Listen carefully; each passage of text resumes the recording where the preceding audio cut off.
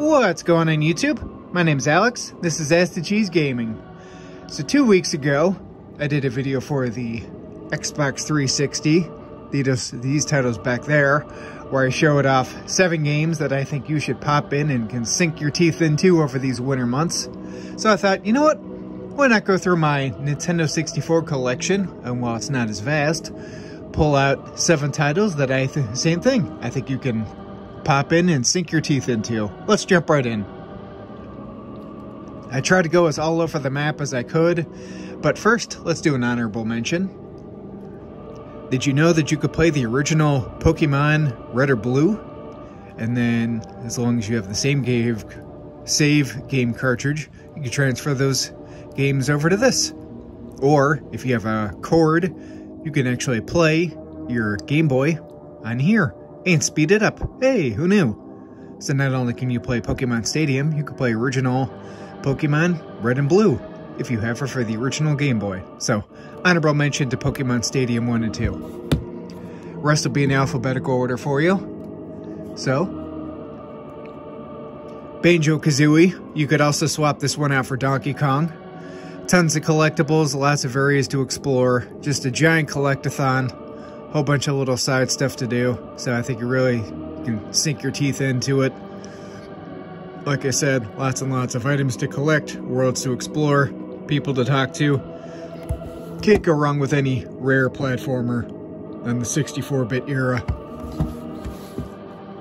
Next, how about a racing game? There's so many to choose from, but I chose Beetle Adventure Racing. This game's got some super long courses. Lots of little shortcuts and hidden areas to find. Other Beetles to unlock. So I chose Beetle Adventure Racing. If you wanted to, you could also go with Diddy Kong Racing, but for the sake of this video, I chose Beetle. Next, a game I don't think I've ever talked about before on the channel, but I definitely wanted to give it some love.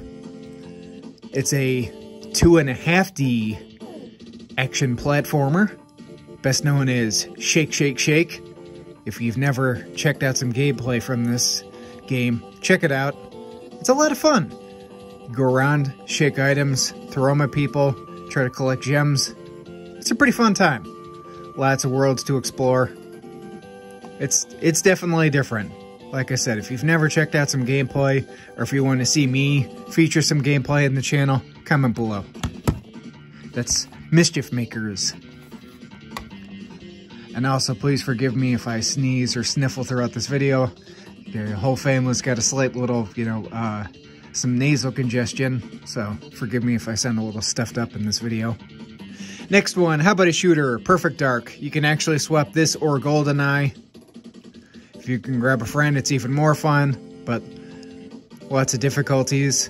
Whole bunch of levels to try to beat as fast as you can, or just plow through every single thing in your path. Again, I think you can either go with this one or GoldenEye. Choice is yours. They're so similar to each other. But Perfect Dark. How about a favorite of mine that I've featured many a time on the channel? Oh, how many times have I beaten Star Fox 64? Too many times to count. But yet still trying to get a better score and a better score and unlock all the medals and unlock all the paths and just see how high I can get that score. Ah, sunk so much time into this game. And it's still so fun today. Could pop this in and easily spend an hour at this game and no problem. Next game, how about a fighting game? The original Super Smash Brothers. I think if you want a fighting game to sink some teeth into, this is the one to go for. Just replayability up the wazoo. Some side missions, of course clearing through with all the characters. Can't go wrong with the original Super Smash Brothers. Today. And last, but certainly not least, Legend of Zelda Majora's Mask. Again, this one, you can swap out Ocarina of Time or Majora's Mask. Choice is yours.